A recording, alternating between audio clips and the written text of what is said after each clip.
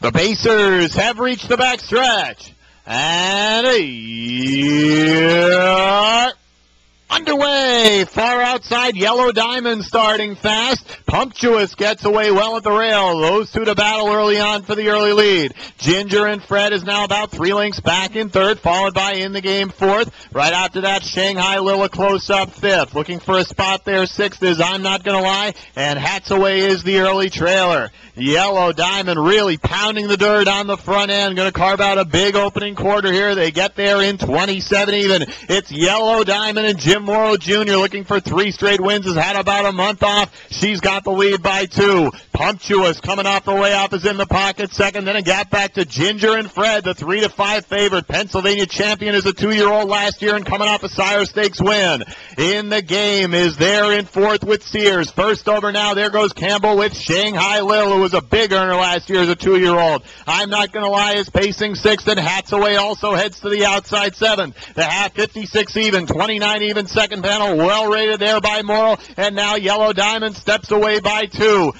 Pumptuous is there in second. Ginger and Fred gets off the rail to make her move there in third, still about two away. Also following the cover out there is Shanghai Lil fourth. Back at the rail fifth in the game has been saving ground. Hats Away is outside sixth, and I'm not going to lie, the deep trailer. It's still Yellow Diamond on the front end, three quarters, 122 and three, a 26 and three third panel, and it's Yellow Diamond now out by two and a half. Ginger and Fred not getting any closer there in second. Pumptuous still at the rail third with Shanghai Lil fourth. At the top of the stretch, Yellow Diamond extending that lead now out to five, now six. Morrill looking back, there's nobody coming, and Yellow Diamond going to dominate here in the first elimination on the front end, no doubt about it. Rallying for second, Shanghai Lil Ginger and Fred gets third. It's Yellow Diamond, a big mile in 151 flat.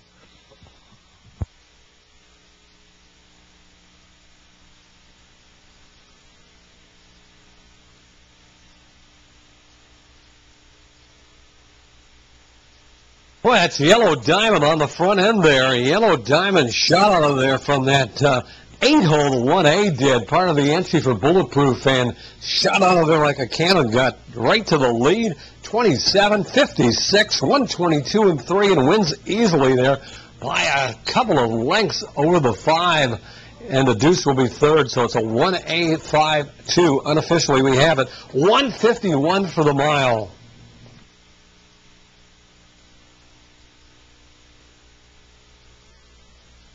Ladies and gentlemen, judges have posted the unofficial order of finish in the seventh race. The 1A, Yellow Diamond, finished first. Number five, Shanghai Lil finished second. The two, Ginger and Fred, finished third.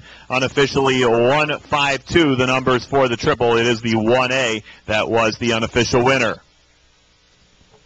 And ladies and gentlemen, moving into the winner's circle at this time, unofficial winner of this afternoon's seventh race first elimination for the Lynch, the 1A Yellow Diamond. Three-year-old bay filly by Western Terror out of Mattatonik by Matt Scooter, bred by Perfect World Enterprises of New York.